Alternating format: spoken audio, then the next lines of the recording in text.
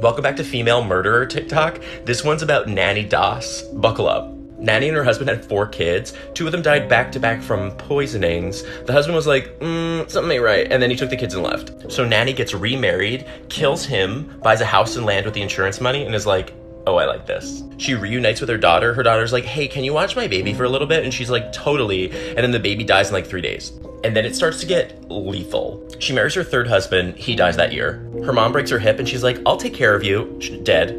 Both of her sisters die in the same year in different towns, all while Nannie's visiting. She marries her fourth husband. Uh, he doesn't even make it a few months. Then she marries her fifth husband. He dies a month later. But finally, in that autopsy, they were like, there's a lot of rat poison in this guy. Did you do this? And then Nannie goes, yeah, I did that to all of them. So she gets life in prison, and before she dies, they interview her and they're like, Why did you do it? Was it for the money? And she goes, Money? I was bored.